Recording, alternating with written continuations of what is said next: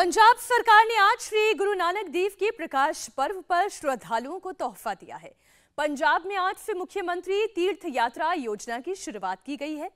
दिल्ली के मुख्यमंत्री अरविंद केजरीवाल और पंजाब के मुख्यमंत्री भगवंत मान ने इसकी शुरुआत की। श्री हजूर साहिब के लिए श्रद्धालुओं का पहला जत्था रवाना हो रहा है। तेरह सप्ताह तक ये तीर्थ यात्रा योजना चलाई जाएगी। करीब पचास हज़ार श्रद्धालु तीर्थ स्थानों के दर्शन कर पाएँगे। लगभग तीन दिन आप लोग वहाँ पे रहोगे।